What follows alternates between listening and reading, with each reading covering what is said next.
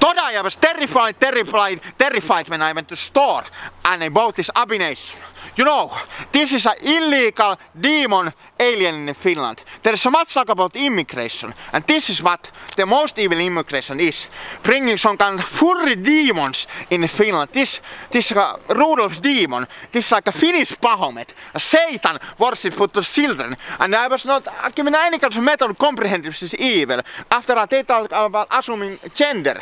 Well, is this guy? I'm assuming, I'm not assuming a man or woman, but I'm assuming him as a demon. So I got some kind of solution about this guy. I saw both Finnish Magnum, you know.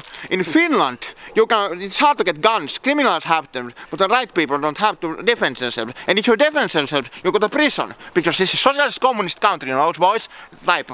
But this is Magnum that we get in Finland. So I have to take, uh, take this demon with the Magnum. I don't know.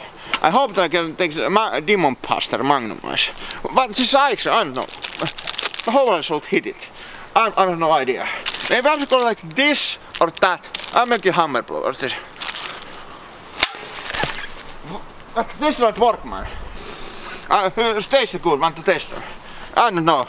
This is like magnum proof. This is what you're playing with Satan. Believe Lord Jesus Christ will be saved in the house. Whosoever shall call upon Lord, Lord shall be saved. Jesus Christ right on the cross for sins, man buried and rise again on death and the third day scripture. Jesus will save you if you ask him. Don't believe with demons, don't believe with rulers, don't believe with Santa Claus. Christian is true babe. And I am a comedian. And this was funny, but uh, this is no joke. Believe, take Jesus Christ as salvation. And don't be a, some kind of furry, I don't you suck!